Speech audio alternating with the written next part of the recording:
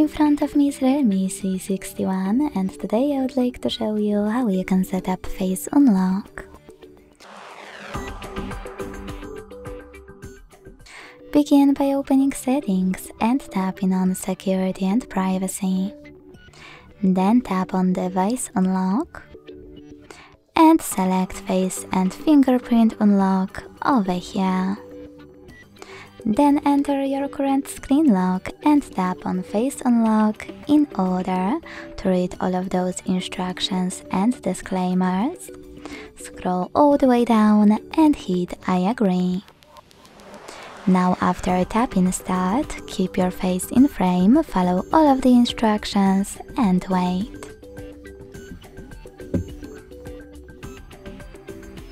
Then select done. So when I switch off my screen and turn it back on,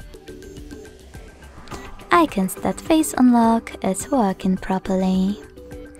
Thanks so much for watching. If you enjoyed this video, leave a like, comment and subscribe. Bye!